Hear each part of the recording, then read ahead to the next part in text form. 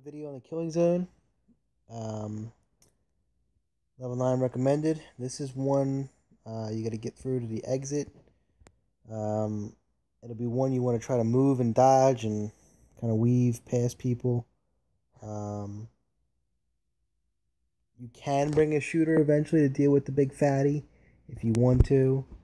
You could roll double hunter. Might do that here just to kind of show you um, what it would look like.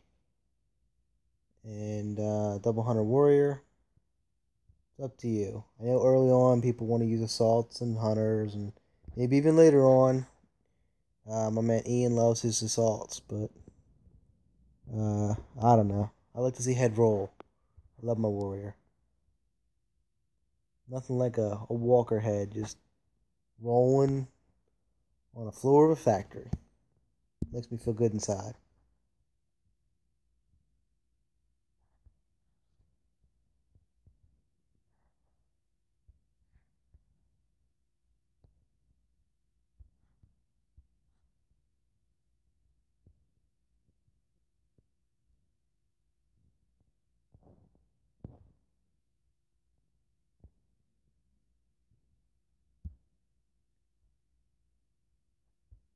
There's always a couple that come around that wall there, so as much as it's tempting to keep barreling out there, um, you're probably always better off leaving a couple behind.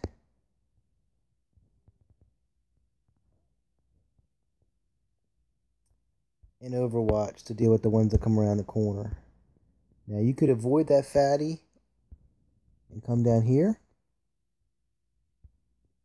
higher levels, that might be the way to go.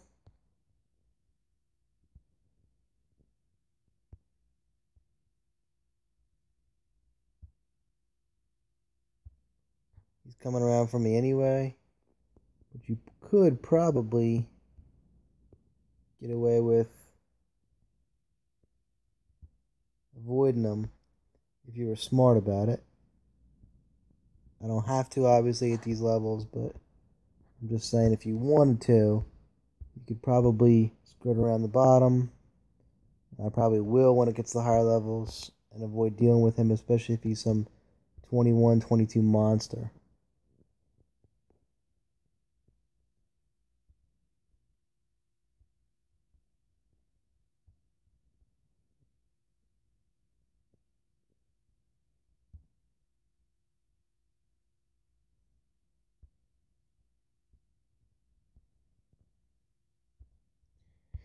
But that's it.